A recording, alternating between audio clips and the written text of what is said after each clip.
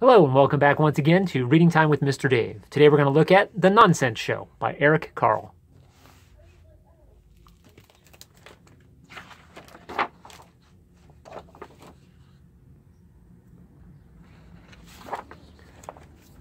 Welcome, friends. Don't be slow. Step right up to The Nonsense Show. I'm too wet, said the bird. I can't fly. It's absurd.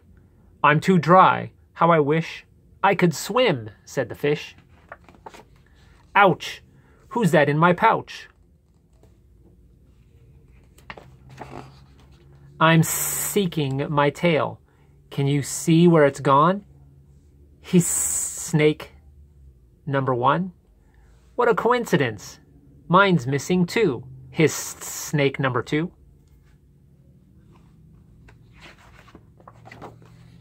I'm supposed to catch you, meowed the cat.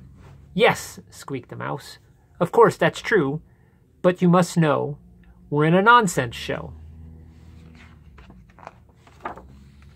Oh dear, look. Look here. It says no gas, alas. No gas, don't worry. We're not in a hurry.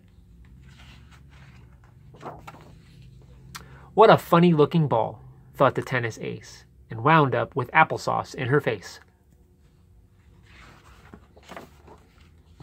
One sheep, two sheep, three sheep, four. And after that, how many more?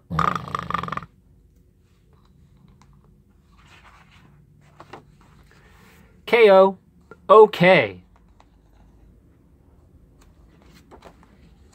Get out of my house, said the dog. But where can I go? barked the man. For all that I care, you can fly to the moon, but go soon. And that's why we've now got a man in the moon, believe it or not.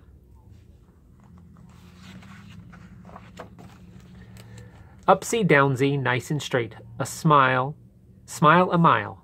Bravo, that's great. Who's that I see? It can't be me. I'll tell you who. It looks like you.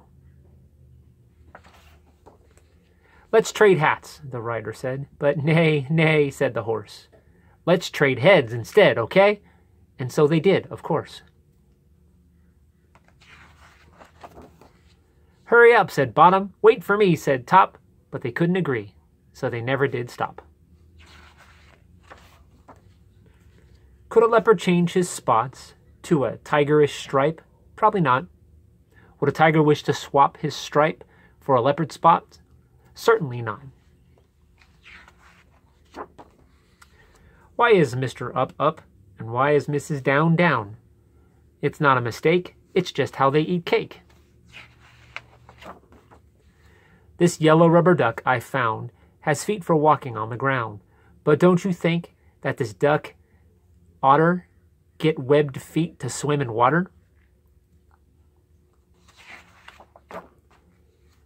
Odd, preposterous, humbug, baloney, tommy rot, fiddle faddle, strange, puzzling, foolish, out of place, bizarre, gibberish, weird, frivolity, balderdash, hokum, funny, hogwash, gobbledygook, twaddle. The end.